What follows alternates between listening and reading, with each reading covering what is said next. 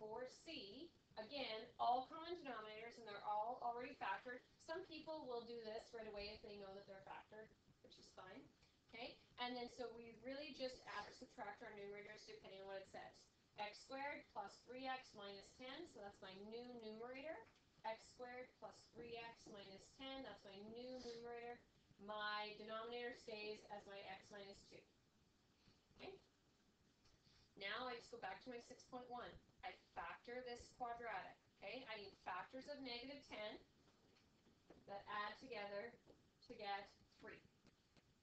They are 5 and 2, yeah, so 2 and 5, and you need more positives because your 3 is positive, so you, your 5 will be positive, okay?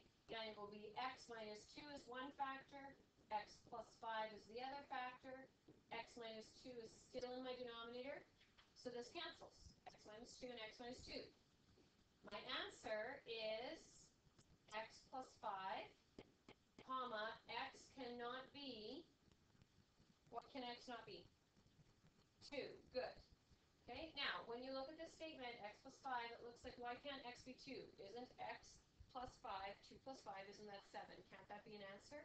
It looks like it can be, but I'll tell you, uh, way up here, if you remember, they're supposed to be equivalent, right? So this very I would have never been allowed to put in 2. So like, let's say this is a graph of y equals this expression.